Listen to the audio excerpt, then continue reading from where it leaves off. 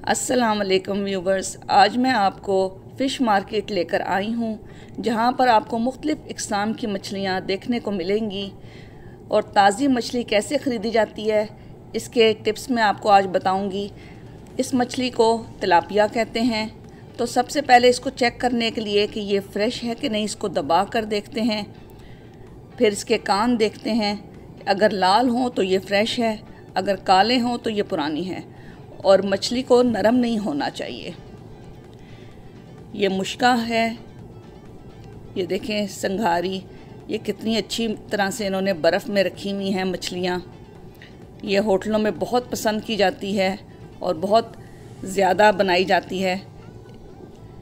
ये देखें, इसके कान भी, ये फ्रेश है।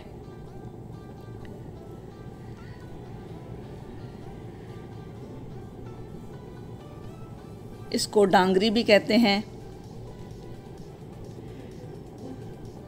ये भी अच्छी मछली होती है। ये देखें, बाराकूडा ये भी पौने आठ सौ की है। यहाँ पे बहुत सारी मछली की वैरायटी है। ये बेक्टी है, ये भी थोड़ी महँगी है। ये सुआ फ़िश है, देखें, बहुत ज़्यादा इसके ऊपर शाइन है। इसका मतलब है ये फ्रेश, बहुत फ्रेश है। ये रेड स्नाइपर है। पाकिस्तान में ये मछली बहुत खाई जाती है और पसंद की जाती है। ये 949 की थी और अब 799 रुपीज़ पर केजी है। ये ब्लैक पॉम्फ्रेट है। ये बहुत अच्छी होती है। इसके भी कान देखें। आपको पता चल जाएगा कि ये कितनी फ्रेश है। ये देखें इसके रेड कान हैं। मैंने अपनी रेसिपी में इसकी बताई थी, तरकीब कैसे इसको बनाया जाता है, बहुत मज़े की बनती है। ये देखें इधर वाइट पॉम्फ्रेट भी है मीडियम साइज़ की। ये भी बहुत अच्छी होती है। ये सी की सारी मछलियाँ हैं। कराची से ये आती हैं। इसी तरह बर्फ़ में रख रख के लेकर आते हैं लोग। ताकि ये फ्रेश रहें। ये लेडी फ़िश है। ये फ्राइंग के लिए ये फ़िश बहुत अच्छी रहती है। इसका साइज़ भी अच्छा है।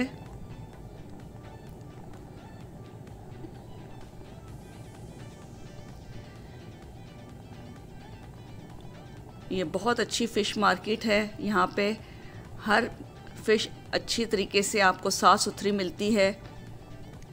ये देखें। फ़िश फिले भी है। फ़िश कबाब बनाने के लिए काम आते हैं। मल्ली, मुश्का, बाम, बहुत सारे फ़िश जिस तरह की पसंद हो यहाँ से इजीली आप ले सकते हैं। ये पिंक श्रिम्स देखें कितने अच्छे हैं। मीडियम साइज़ के फ्रेश हैं।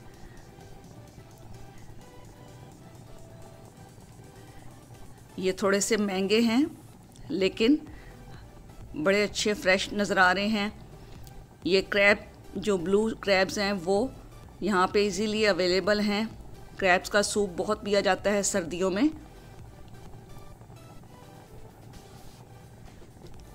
अब ये देखें, ये मीठे पानी की मछली है, रहू। थ्री नाइनटीन रुपीज़ पर केजी है और बहुत अच्छी फ्रेश नज़र आ रही हैं मछलियाँ। इसको चेक करने के लिए इसके कान देखें और इसकी स्किन दबा कर देखनी चाहिए। तो आपको पता चल जाएगा कि फ़िश ताज़ी है या पुरानी है। इसके देखें कान, ये रेड है। इसकी स्किन देखें, अंदर से दबती नहीं है और टाइट है। इसका नरम गोश्त नहीं होना चाहिए। अगर ताज़ी मछली लेनी है तो। ये देखें, यहाँ पे कितनी वैरायटी रखी हुई है इन्होंने। इसका अपना टेस्ट होता है डैम की फ़िश का। मैं आज ब्लैक पॉम्फ्रेट ख़रीद रही हूँ। मेरे घर में ये बहुत पसंद की जाती है। तो मैं आज ये ख़रीदूँगी।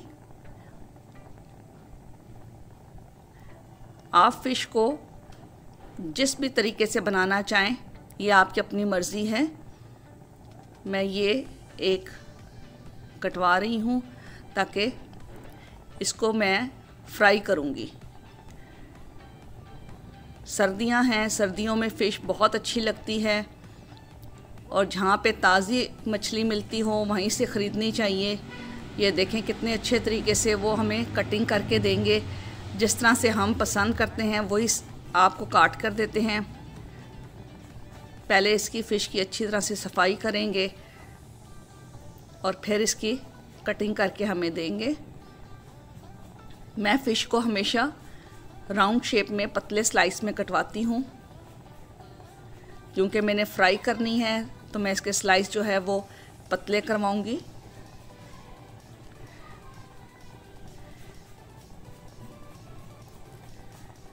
हम लोग फ़िश जो है सी की ज़्यादा पसंद करते हैं, इसलिए यहाँ पे इजीली हर तरह की फ़िश मिल जाती है। तो हम लोग इस मार्केट में आते हैं।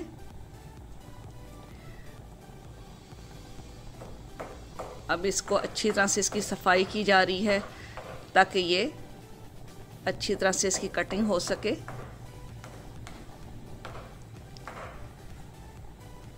सर्दियों में फ़िश बहुत खानी चाहिए, इसके बहुत फ़ायदे होते हैं। ये देखें कितनी फ्रेश है, इसके जो कान हैं, वो कितने रेड हैं। जिस फ़िश के कान रेड होते हैं और वो ऊपर से दबाने से अंदर नहीं दबती, वो फ्रेश होती है। फ्रेश मछली का अपना टेस्ट होता है। आप इस ब्लैक पॉम्फ्रेट को सालन में भी बना सकते हैं और फ्राइंग के लिए भी इसको इस्तेमाल कर सकते हैं। ये दोनों तरीके से बहुत अच्छी मछली बनती है।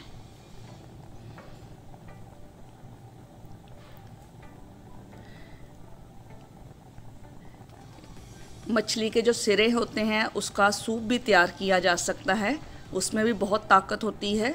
सर्दियों में फ़िश सूप बहुत अच्छा होता है। अब ये जो मछली जो मैं बनवा रही हूँ, इसको मैं आपको घर जाके इसकी स्मेल कैसे दूर की जाती है, मैं आपको वो भी टिप बताऊँगी। ये बहुत ज़रूरी होता है, एक मछली की अपनी स्मेल होती है। कई लोगों को ये अच्छी नहीं लगती इसकी स्मेल तो इसको आसानी से इसकी स्मेल को हम रिमूव कर सकते हैं। जब मैं इसको घर लेके जाऊँगी तो मैं इसको आपको बताऊँगी कि किस तरह से इसकी स्मेल दूर की जाती है। अब इन्होंने मुझे बड़े अच्छे तरीके से इसको साफ़ करके, इसके पतले पतले से स्लाइस करके दिए हैं और इसका बहुत रीज़नेबल रेट है। अब ये जो मैं मार्केट से फ्रेश ब्लैक पॉम्फ्रेट लेकर आई थी अब इसको मैं आपको वॉश करने का तरीका बताऊँगी, किस तरह से इसकी स्मेल जो है वो दूर की जा सकती है। एक बड़े बाउल में इस फ़िश को निकाल लेंगे।